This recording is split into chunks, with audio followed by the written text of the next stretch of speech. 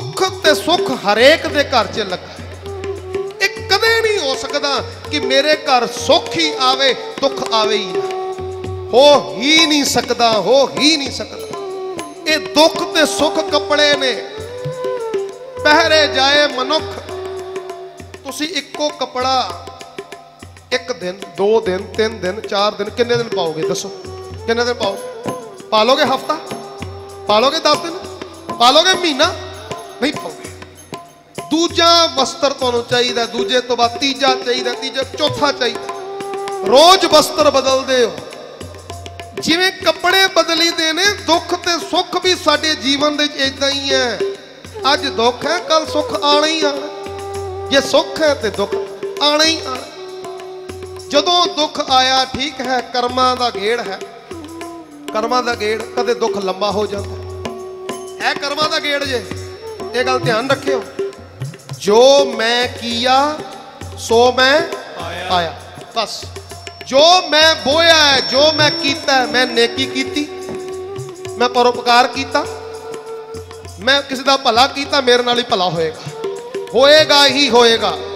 ਜੇ ਕਿਸੇ ਦਾ ਮੈਂ ਦਿਲ ਦੁਖਾਇਆ ਜਲੀਲ ਕੀਤਾ ਉਹਦਾ ਨੁਕਸਾਨ ਕੀਤਾ ਮੇਰਾ ਵੀ ਹੋਏਗਾ ਹੀ ਹੋਏਗਾ। ਆਖੋ ਸਤਨਾਮ।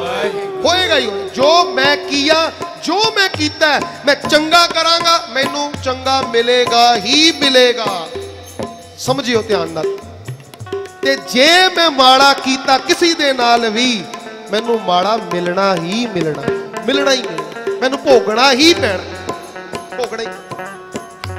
ਤੁਸੀਂ ਆਪਣੀ ਗ੍ਰਸਤੀ 'ਚ ਝਾਤ ਮਾਰੋ ਅੱਜ ਜਿਹੜੀਆਂ ਸਾਧ ਸੰਗਤ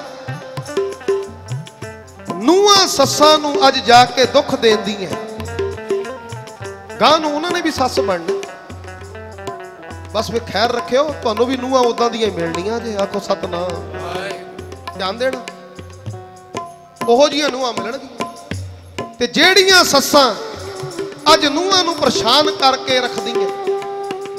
ਇਹ ਨਾ ਸਮਝਣਾ ਕਿ ਤੁਸੀਂ ਬਰੀ ਹੋ ਜਾਓਗੇ। ਗਾਂ ਫਿਰ ਗੇੜ ਬਣੇਗਾ ਜਿਹੜਾ ਕਰਮ ਬੀਜਿਆ ਜੇ। ਜਿਤਨਾ ਰਵਾਇਆ ਨਾ ਤੁਸੀਂ ਤੁਹਾਨੂੰ ਖੁਦ ਨੂੰ ਰੋਣਾ ਪੈਣਾ ਜੇ ਆਖੋ ਸਤਨਾਮ। ਮੈਂ ਨਹੀਂ ਆਪਣੇ ਵੱਲੋਂ ਕੁਝ ਕਹਿ ਰਿਹਾ ਜੀ। ਮੈਂ ਮੈਂ ਨਿੱਕੀ ਨਿੱਕੀ ਗੱਲਾਂ ਲੈ ਕੇ ਚੱਲੂੰਗਾ ਹੁਣ ਖਾਲੀ 5-7 ਮਿੰਟ।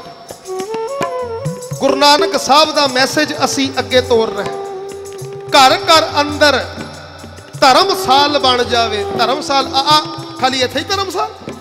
ਉਹ ਘਰ ਘਰ ਅੰਦਰ ਇੱਥੇ ਸੱਚ ਹੈ ਧਿਆਨ ਦੇਣਾ।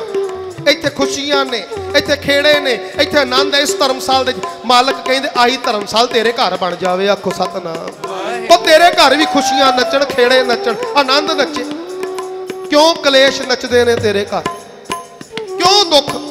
ਨਾ ਕੋਈ ਗੱਲ, ਨਾ ਕੋਈ ਬਾਤ, ਐਵੇਂ ਕਲੇਸ਼ ਖੜਾ ਕਰਕੇ ਬੈਠੇ ਨੇ, ਐਵੇਂ ਕਲੇਸ਼ ਖੜਾ ਮਾਲਕ ਕਹਿੰਦੇ, ਜੋ ਮੈਂ ਕੀਆ ਸੋ ਮੈਂ ਪਾਣਾ ਹੀ ਹੈ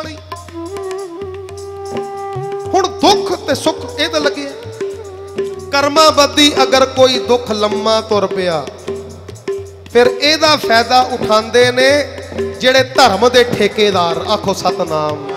ਜਿਹੜੇ ਧਰਮ ਦੇ ਠੇਕੇਦਾਰ ਅੱਜ ਬਣ ਕੇ ਬੈਠੇ ਨਾ, ਧਰਮੀ ਬਣ ਕੇ ਬੈਠੇ, ਮੈਂ ਧਰਮੀ ਆ।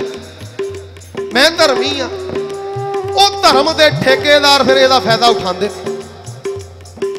ਅੱਜ ਲੋਕਾਈ ਨੂੰ ਪਰੇਸ਼ਾਨ ਕੀਤਾ ਹੋਇਆ ਭਟਕਾਇਆ ਹੋਇਆ